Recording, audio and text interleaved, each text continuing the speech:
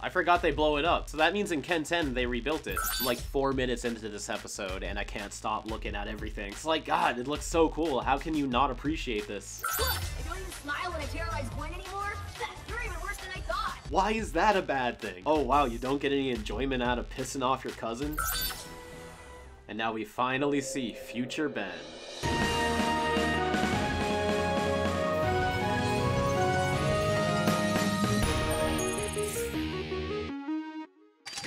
Up guys, Kuro the Artist here, and welcome back to another Ben 10 Breakdown. Today, we'll be taking a look at the first time travel episode of the franchise, where Ben and Gwen are thrown into the future and meet future versions of themselves, Grandpa Max, and some future villains. This episode also introduces the first Ben 10,000, which, as many people can recall, was kind of a jerk. Or was he? During my breakdown, I found myself more and more questioning and even defending Ben 10,000's actions, and comparing it to how other people see him. By the end of this video, I hope to open your eyes up to what I see, and how the original Ben 10,000 might be pretty different than what you remember. If this is your first breakdown and you're wondering how my rating system works, there's a detailed description down below, along with a playlist to all of my previous breakdowns, but by all means, stick around and watch this one first, I'm sure you'll like this video anyways. Before we begin, let's take a quick look at last week's poll. With two seasons of breakdowns now completed, I asked you guys which one was your favorite. As with many of these polls, there was a winner by a landslide, this one being season 2. I agree with these results, but this isn't to knock season 1 for what it is. Season 1 is fantastic, and while I do like that it has a story arc unlike season 2, the second season was just better in my opinion. And as it shows, 82% of you guys agree. Our Season 3 premiere, Ben 10,000, first premiered November 25th, 2006, written by Greg Weisman. Greg Weisman is most known for creating the shows The Spectacular Spider-Man, Gargoyles, and my personal favorite, Young Justice. Future Gwen brings the two adolescent Tennysons into the future with a looming crisis that Ben 10,000 himself can't handle alone. And with the return of Dr. Animo teaming up with a newly upgraded Vilgax, it seems like she might be right. Let's take a look. Got the marshmallows. I don't think I've noticed this before, but you can see Mount Rushmore in the background. Also, check out that height difference. Sometimes they draw Gwen significantly taller than Ben, and other times they're the same size. See, in this shot, she's not that much taller than him. When do I have time to go get some dumb old cake? He's kinda got a point. Like, I was more of thinking he's like 10 years old with no job. How is he gonna get a cake, period? But at the same time, Ben, you're not like busy 24-7. You absolutely had enough time. Fine. Play you to see who goes. One, two. Future Gwen's portals looking like a charm of Bezel is a beautiful touch. The background starts warping behind it too. Lots going on here. This is a pretty epic shot. They even animated the roof tarp flapping in Ben and Gwen. The ground is dirt. Now the ground is grass. And as the dial pops up, you can still see the dial in place before it fully extends. Not to just start ripping apart the episode, but this is another one that I've seen so many times that all the smaller details stick out to me much more clearly. And you can sort of tell Cannonbolt was a recent addition just because he looks so much more cleaner and better animated than all the others. He's got quite the amount of detail and fluidity to his animation. Then you get ones like Stinkfly. It's like a little bit of a jump in quality. I really like this flash effect they add for when the portal forms. Pretty simple. You gotta glow, up the contrast a little bit, then add this little warp behind the portal. But even then, all that makes a difference. They could have just slapped the portal element on there and called it a day. I'm gonna pull back on the animation errors for now on, but this is the last major one I want to point out. When his visor goes up, the bottom part of his mouth is colored in black. So much going on in this city. This is a really good future design. It looks like a combination of human cultures, alien cultures. Fashion has evolved. Omnitrix City, that's what this place is called. I'm pretty sure a pop-up once said, what was his name, Edwin? From They Lurk Below, the rich kid's son. He helps Ben build Omnitrix City. Hey, Ben. Looking good. That's definitely Megan Smith. Yo, Ben 10K! Keep up the awesome job! They even redrew the same background twice from two different angles. Look at this sign and this sign, and then you can see them here. Everything pretty much lines up. This building, this little hut right here. So they probably really did like plan out an actual map of the city or at least something for some consistency instead of just drawing random bullshit and making it look like the future. This is one of the most interesting locations in all four shows, and it's a shame we barely get to see any of it. And what? Oh. Our first hint at future Ben. Always loved this statue. And it's great because the face is obscured because we don't see Ben 10,000's human form till the end of the episode. So it's just something that's hinted at, which is his turnaround, but I'm getting ahead of myself. Ben 10,000. Another thing that only makes sense if he actually went by Ben 10. I forgot they blow it up. So that means in Ken 10 they rebuilt it. Hey, Tennyson. Long time no see. Hero of. Yeah! That should have broke his face. This force field has some good CG animation. When it disappears, it sort of warps away. That's really neat looking. The first screen time of Ben 10,000 is right here. Happens so fast you can barely see it. Is that XLR8? Our first future alien. Only a slight physique change, mostly the shape of his visor, but I am digging this new outfit. Certainly took inspiration from it for its 5YL design. Looks like the work of Animo. He's doing a full-on x-ray of him. We can see inside of him. We got some bone structures in there and mechanics. I'm like four minutes into this episode and I can't stop looking at everything. It's like, God, it looks so cool. How can you not appreciate this? And send them back. Now. That should be a solid hint that Ben is so used to time travel, he isn't even phased by this. It's not even like, whoa, you brought back my past self. It's like, come on, Gwendolyn, not today. Let's go do this crossover some other time. I don't have time for this. Look at that, Ben is canonically faster than a future can accelerant. Hmm, how about never? Never. That was so malicious. Could lose the attitude, you know. That's how she figures it out, not the literal same cat icon or the same color scheme or the same eyes. Gwen? Easily Gwen's best design in the whole franchise. Look, I didn't bring you here to find out about your future. So if you guys don't know, future Gwen is voiced by Tara Strong, who voices, for right now, present day Ben. So it's kind of cool that Tara got to play both Ben and Gwen in this episode, just not, you know, the same ages. So time travel's no big deal now? You just need to know the right spell to create the right kind of portal. I know magic? How wicked is that? What else do I know how to do? Hey, did I ever get my black belt? Hello, forget you. This is about me. See, this episode leads you to believe that he turns into a jerk in the future. But I mean, I don't see Ben 10,000 acting like this. Like, this is kind of jerk behavior. If anything, we learn in the future he grows out of it. Ben 10,000 may have mastered the secrets of the Omnitrix. That one line just made the Omnitrix interesting all over again. There's a crisis looming even he can't solve alone. Aw, if you guys haven't seen it, the Watchtower database made like a big animated crisis crossover and they included a Ben 10 cameo. If they were ever gonna redo it, they should include that clip because that's like a perfect lead in for like some type of crisis. You mean on Infinite Earths? What's in Sector 15D? Earth's massive genetic depository with DNA samples from across the galaxy. That sounds kind of ridiculous, but with the blending of human and alien cultures, maybe they need all of this so they can study their DNA so they can expand what Earth would need to take care of an alien population. Like they have to update their medical records, they have to update what they consider food. So yeah, having a whole DNA databank that could probably come in handy. Can't this thing power up faster in the future? It's not how time travel works, Ben. Yes, the rust bucket looks exactly the same. That's so great. Bearded Max. He's got them styling pants. But the same shirt. It was 20 years out of style 20 years ago. That's my second favorite line in the whole show. Hey, when you find a look that works, And that's my first. This subtle head nod is good animation because the pupils stay in the same position while the whole head rotates. Whoa! It's totally tagged out! You ain't seen nothing yet. Ah, beautiful. So, where do I sleep? In your fancy headquarters, where else? You're too good to stay with us anymore. I mean, yeah, he's like saving the entire planet. I get they're pretty bummed about it, but they're making it sound like Ben just doesn't give a fuck about his family anymore. It's much more complicated than that. What is this architecture? This looks like a building was just crumbled together. Is this on purpose? If this is the place they trust to hold thousands of DNA deposits, I guess so. Crazy how they didn't make this rust bucket CG. They're really drawing at every frame. It's got some good consistency. Traditional vehicles on a TV budget is a hard thing to make look good, flying or not. You coming, Grandpa? you haven't needed my help for a long time. Oh, Grandpa. Show Ben 10,000 where it all begins. With you messing up again. Ah, the Omnitrix is drawn a bit funky right here. Let me just, uh... There we go. All better. Always love this little animation right here. Just looks cooler to see some movement in your backgrounds and establishing shots. Although this door goes from the same color as the walls to brown. Again, I could just spend hours looking at the backgrounds in this episode.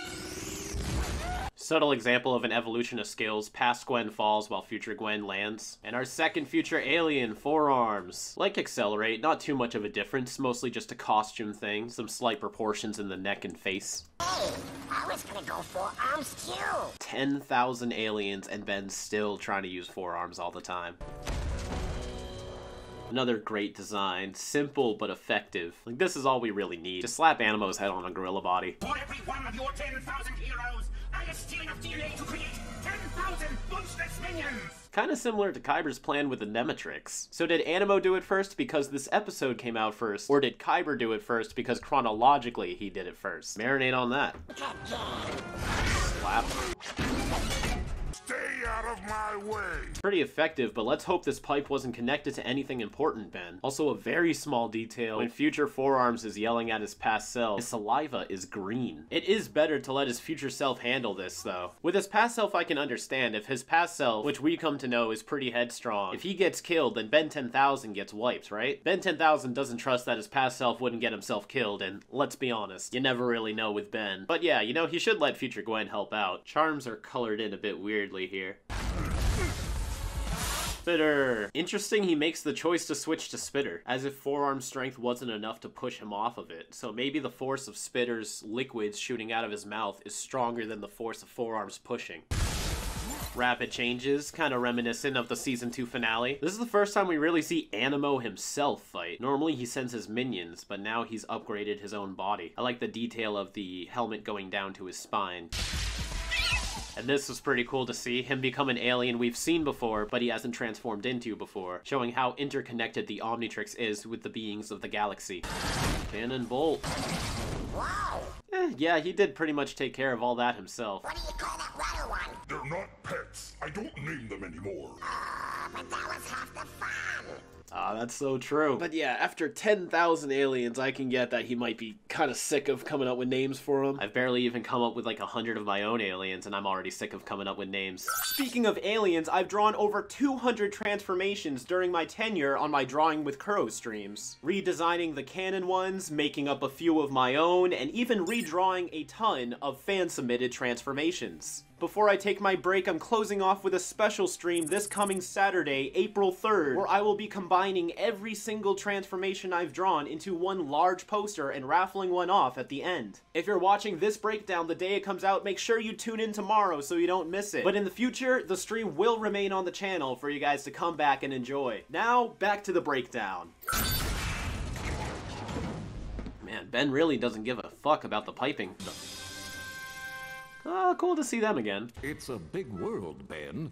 You could always save a couple of the bad guys for us, you know. Eh, he's right, but he's making it sound like this is all just a big game. Also, is future Ultimos buffer than his original self? Yeah, just a little bit, but this could just be whoever was animating him. Because they were drawing Four Arms a lot, so maybe they're just used to drawing that body shape. But he looks jacked compared to how we saw him in Galactic Enforcers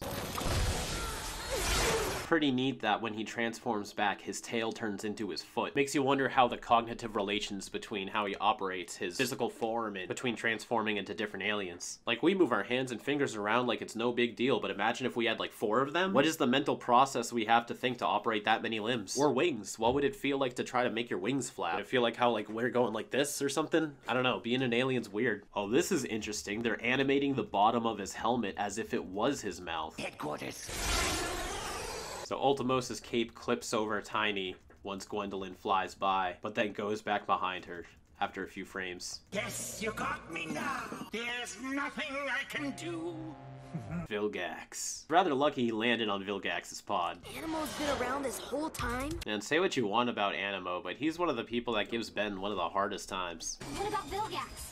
Last I saw of him, I left him in pieces. It wasn't pretty for anyone.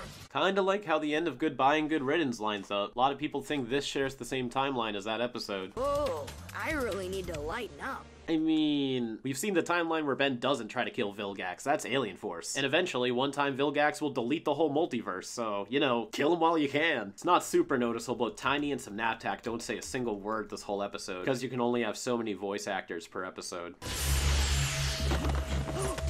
Man, he should have done that against Ben. Yeah, he definitely looks like he was burned alive in the sewers. You can even see his skull. So nice you could rejoin me. And now we see Mount Rushmore again. And I like that because we saw Mount Rushmore in the beginning to show that all they did was time travel. They're still in the exact same spot this whole episode. Not to keep shoving in so much 5YL info, but in the story I have where Ben is 21 and he's officially employed by the plumbers, since around the world and pretty much around the entire galaxy, people have no problem treating him with some kindness and giving him food and stuff. All of his actual plumber salary he's saving up so that he can fund the development of Omnitrix City. So he pretty much gives up his entire plumber paychecks in order for this city to be built, which I personally think he would realistically do in the show too. Like, how else is he gonna get this place made? Whoa, this is my headquarters? I must chill out here a lot. XLR8 just kind of runs over this background like it's a flat ground. There's no time. I'm always patrolling the planet. So he's basically grown up to be like a superhero workaholic. Don't I have any fun anymore? You'll learn soon enough. Being me is not about fun. See, it's trying to paint the picture that Ben grows up to be a jerk, but I mean, he's not wrong. There's many scenarios where if Ben wasn't around during his road trip so far, things would have gone horribly wrong. Like, most of the times he stops his bad guys is by coincidence. So if he's able to go around the entire world and try to protect it, it's not like he doesn't want to have fun, but he probably just realizes there's quite literally no time for it if you're trying to constantly save everyone. And he has another good point about how being him isn't all about having fun. And that's something that present day Ben really needs to understand. So as much as I see that Ben growing up to disassociate himself with his family, yeah, that's kind of an issue. But it's not like he just grows up to be an asshole. He's just taking his work incredibly seriously. But it does suck that he doesn't see Gwen and Max often anymore. And don't touch a thing. Come on, Ben, you know yourself. You're absolutely gonna touch anything the first chance you get. Hey, look! He said not to touch anything. Why should I listen to me? You never do. So many good one-liners in this episode. Off that board now. What? I don't even smile when I terrorize Gwen anymore? See, like, why is that a bad thing? Oh, wow, you don't get any enjoyment out of pissing off your cousin? Good, that's something that you need to grow out of. Like, Future Ben definitely needs to make stronger efforts to keep his family closer together, but he doesn't need to do a complete 180. I mean, a lot of his future developments are good character traits. Cool move, huh? Wanna race? Those days are over. I am such a jerk! Not really. Well, I'm not going. You brought me here for a reason, and I bet it's what's going on in Sector 1 Eccentric. Is it far away? Yeah, see, I can see that attitude evolving into the version of Ben we see in the future. So it's a realistic character progression for the route that Ben's on right now. the null void projector. Surprised you could touch anything with those gorilla fingers. This might be just a lighting thing, but his visor is green here. I actually kind of dig it this way, though. Oh, but it's only just beginning.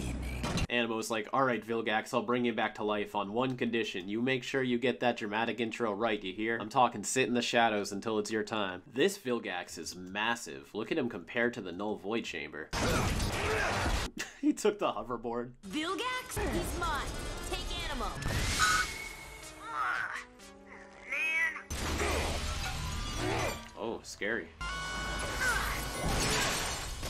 Yeah, like the hoverboard would have done anything. This is your fight. It's my fight too. Well then, this might help. Ah, sweet. Really makes that earlier line pay off where she talks about Ben mastering the secrets of the Omnitrix. This is probably one of the best future designs. Really looks like an evolution of the species. Look at this massive leap that Gwen does. As if she really needed that keystone of Bezel. Nice, we've seen some of Hex's spells have both this ripple and a fire effect. So it's adding that extra interconnectivity of Gwendolyn being destined to be a master sorceress. This was a great move that Vilgax does. Get in there. Another favorite future form. The shoulder volcanoes really make a difference. Then boom, back into Stinkfly. Kevin does that too in Framed. Get your claws off my grandson! Excellent call back to Secrets. He's even got the same device. Claws off my grandson, Vilgax! Help the Gwens! They're by the null void! Even past Ben's like, we don't need you, Grandpa.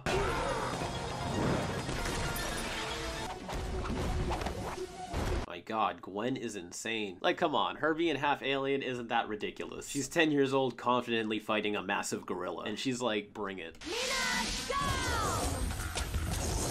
So she goes from firing a laser beam in this shot to a trail of fire in this one. And Gwen's running in the shinobi way. See, look at that. She kicks him and it knocks him off balance. He is a massive gorilla. Jeepers creepers, Gwen. And this doesn't kill her. Also, this is interesting. I pictured this as a full body suit, but apparently it's two separate articles of clothing. Then again, if it was full body, it would be really hard to get on and off. Unless you're magic. Yes. 17 minutes in and this episode's still pulling surprises. A lot can happen in 20 years. Come on.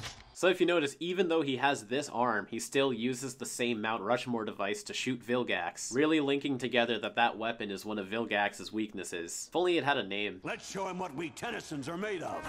Yeah. He may know how all your aliens fight, but does he know what Ben Tennyson can do? Pretty famous error, but he's got the 10,000 detailing on his hands. I feel like I'm pointing out too many errors in this episode, but lately in the breakdowns I've been trying to cut down on them, but now suddenly the comments are filled with them, so I'm just mentioning them so that you guys know I see them. And they're cool to find. It's like an Easter egg hunt. And now we finally see future Ben. Maybe it's time I did start fighting like you. I'm so glad they waited till this moment to show his human form. Quite literally, being human is what makes Ben who he is. So once he starts losing his humanity, he starts losing interest in his human form. Pretty nice, subtle metaphor there. Good job, Greg Weisman. Even he can't help but think that was cool. I wonder how he's able to choose the aliens. Like that's a whole that's a whole topic. Follow my lead. Now it's not to say that none of his aliens can do what he's doing here, but it's the freedom and the mindset he has in his human form that allows him to get the advantage. Further emphasizing that it really is being Ben that makes him special and capable, and not the Omnitrix. Anyone can put on the watch, but Ben's the one that knows how to make it work. And we get to see more of the city in this. Although here's an error you guys probably haven't noticed. The same background that Ben uses to flip into Spitter here is the exact same one you see when they're falling earlier. Now reusing backgrounds is fine, but the reason it's an error is because we see during this chase scene Ben is bringing Vilgax to a different location, yet here they're back again. Alright, we got we all set with the errors now? Cool. Fan favorite Spitter.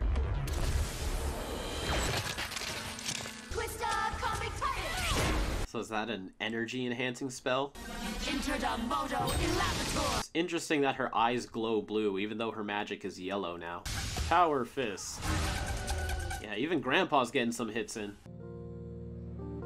Happy birthday, Grandpa! Subtle change, but when Ben embraces being lighthearted again, his hair starts to look similar to his 10 year old self compared to being combed back earlier. Sorry, Ben. Take to alert. Can't you guys see it's my grandpa's birthday? You handle it. Of course. That's a sweet moment. I know your Ben can be a major dweeb, But enjoy him while you can.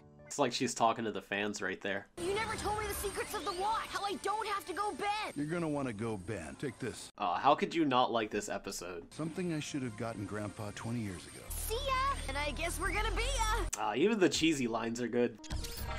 We got you a cake. Happy birthday. Everything comes full circle in this episode. Make a wish, Grandpa.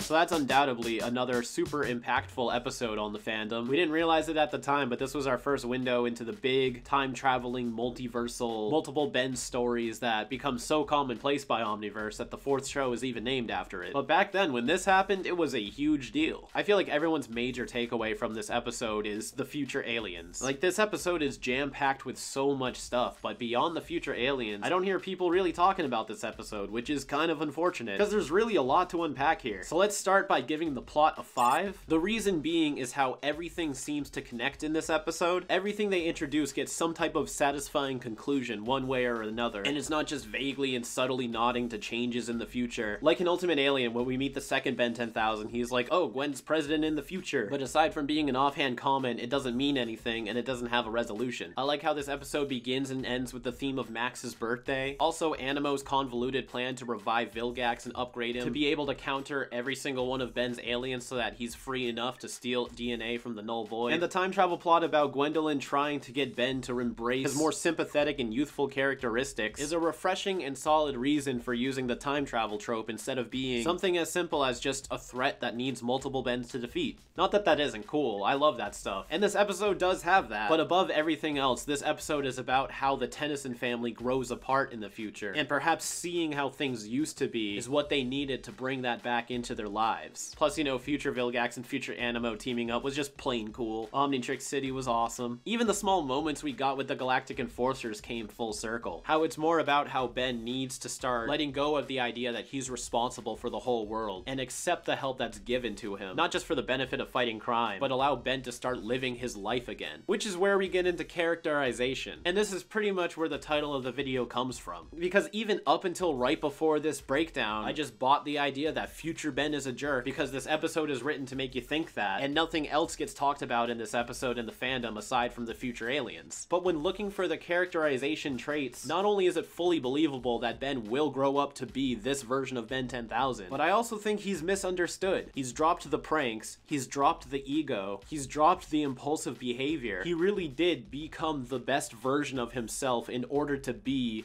the hero of heroes. But on that journey, a lot of his humanity and his relationships got lost in the process. When he's talking to young Ben in the headquarters, he's never like, oh, I hate fun. It's, I never have time for fun. Or it's not like, oh, I don't want to see Gwen and Grandpa. It's, I never have time to see Gwen and Grandpa. It's like I said during the actual breakdown, pretty much everything he's stopped in the summer so far was because he just came across it. Imagine if you had the ability to patrol the entire world. Would you not feel like you would want to save everybody as much as you can. This is jumping ahead a little bit, but it's kind of like how the fans see Alien X with Ben. Like if Ben has Alien X, why doesn't he stop all the wars in the world, revive all the planets that were wiped out by the big tick, cure disease? And while Ben eventually grows into someone who doesn't see that type of power being worthy of a singular responsibility, right now we kind of see what Ben would be like if he did believe those viewpoints, where if you have the power to do anything, you should. So Ben having the Omnitrix and 10,000 aliens and the capability to save the whole world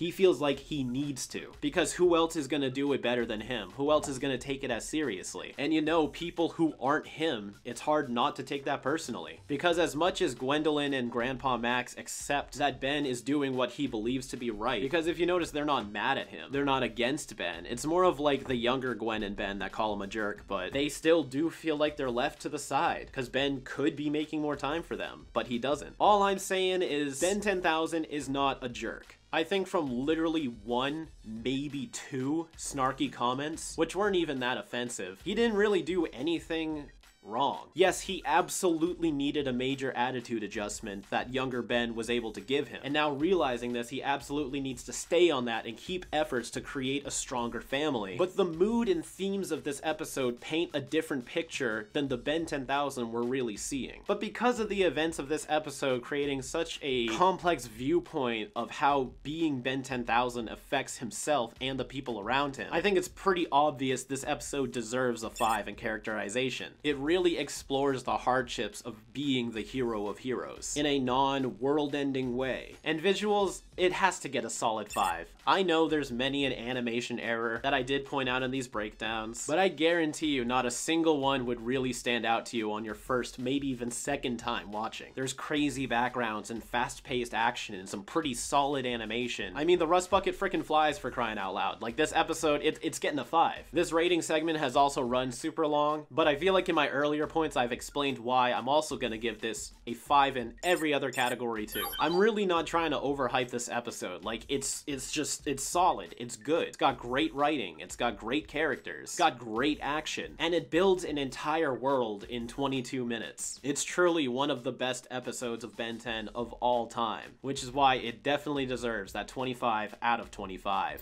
For this week's roadmap segment, we have a first. Now, we've seen the Tennysons return to a few states a handful of times before, but this is the first time they've returned to an exact location they've already been to, which is Mount Rushmore. Mount Rushmore has now appeared in every season so far, as the last time they were here, they stayed from the end of season 1 until the beginning of season 2. Where will the Tennysons take their summer vacation next? Make sure to subscribe so you don't miss out.